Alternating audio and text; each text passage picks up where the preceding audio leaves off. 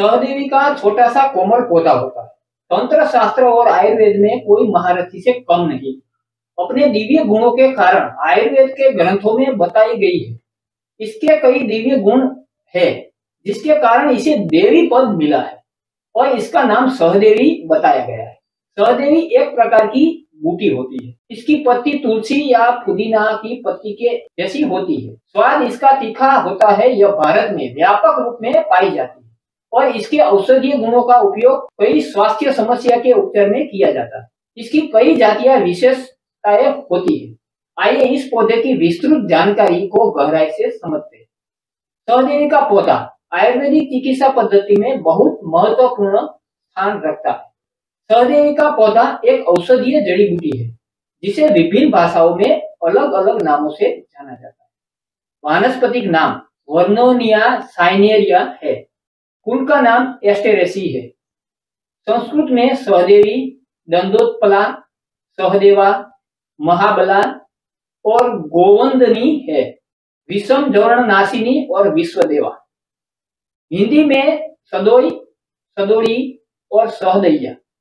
गुजराती में सहदेवी केदरडी इसे अंग्रेज़ी में लिटन आयरवीड कहा जाता सहदेवी की पहचान। सहदेवी की पत्तियाँ लगभग दो से पाँच सेंटीमीटर लंबी होती है। इन पत्तियों का रंग हल्का हरा होता है और किनारे पर थोड़ी दरारें होती है। इसका तना पतला और सीधा होता है, जिसमें हल्की सी रोए होती है। यह गाढ़े हरे रंग का होता है। इसके फूल छोटे होते हैं, हल्के सफ़ेद और बैंगनी रंग के होते हैं, जो गुच्छों में दिखाई देते हैं। सहदेवी के बीज छोटे और हल्के भूरे रंग के होते। आयुर्वेदिक गुण कर्म एवं प्रभाव। सहदेवी तिक्त उष्ण लघु, रुक्ष तथा कपवात सामक होती है। यह वातानुलोमक निंद्राकारक मूत्रकुच विषम जवर तथा सिंगम नाशक है। सहदेवी का पंचांग, मधुर, शीत, बलकारक, आमाशय उत्तेजक स्वेद शोथ हर जीवाणु नाशक, विषाणु नाशक, मूत्र शोधक तथा अस्मरी नाशक होता है।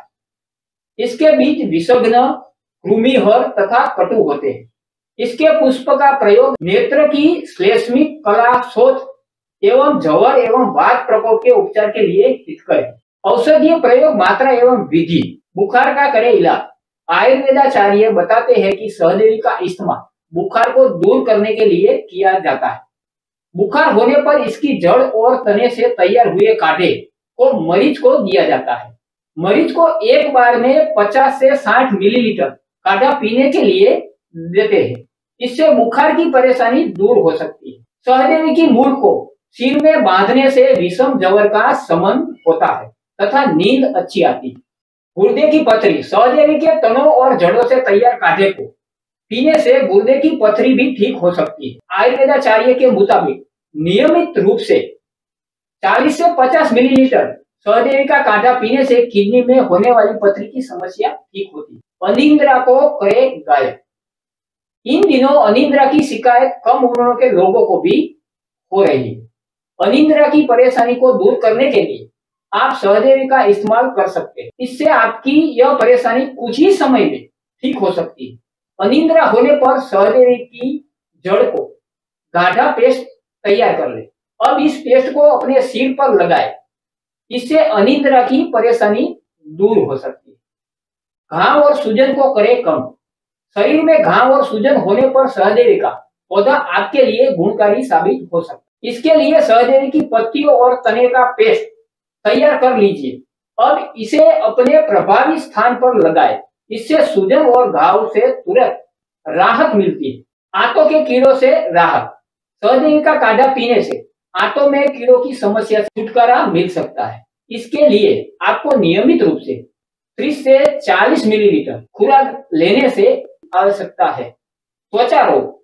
सहदेवी के पत्तों को पीसकर त्वचा पर लगाया जाता है, जिससे दाग, खाद, खुजली और त्वचा रोग ठीक होते हैं।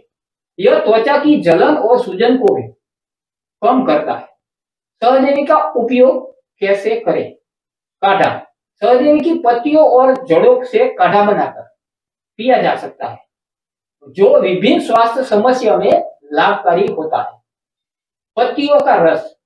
सहदेवी की ताजी पत्तियों का रस निकालकर सेवन किया जा सकता है। पेस्ट। सहदेवी की पत्तियों का पेस्ट बनाकर त्वचा पर लगाया जा सकता है। जिससे त्वचा संबंधी रोग ठीक होता है। सहदेवी के उपयोग में सावधान। गर्भवती महिला को सहदेवी का उपयोग करने से पहले चिकित्सक की सलाह लेनी चाहिए। मात्रा का ध्यान। सहदेवी का अति अधिक सेवन हानिकारक हो सकता है, इसलिए इसका सेवन सीमित मात्रा में करें। अगर यह जानकारी आपको अच्छी लगी हो तो अपने मित्रों और परिजनों को शेयर करें, ताकि वह भी अपने जीवन में लाभ उठा सके। इसी के साथ जय धन्वंतरी वंदे मातरम।